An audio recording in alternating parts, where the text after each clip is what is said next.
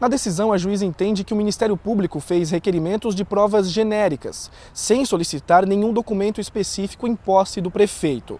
A magistrada julga ainda a medida como extrema e acredita não haver provas suficientes para afastar o prefeito do cargo. Na última sexta-feira, o Ministério Público fez um requerimento para que o prefeito Moacir Rabelo fosse afastado por causa de diversos descumprimentos de ordens judiciais, tanto nas áreas da saúde quanto educação e assistência social. De Tubarão, Pedro Garcia, para o Câmera Aberta.